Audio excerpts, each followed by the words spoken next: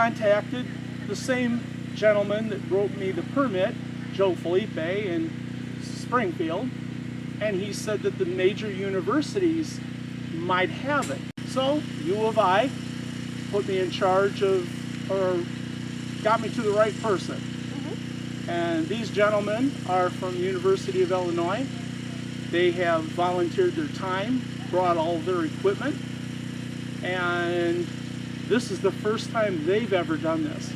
John Kettman's been uh, exploring his ancestry and uh, some family roots brought him to this cemetery. Uh, he reached out to the state first, um, and the state uh, archaeologist recommended the University of Illinois as a contact for ground penetrating radar.